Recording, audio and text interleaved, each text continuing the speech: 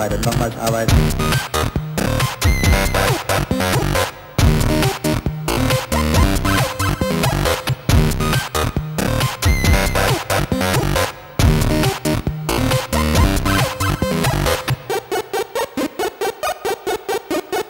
Die Arbeitsproduktivität steigern. Steigern. Steigern. Steigern.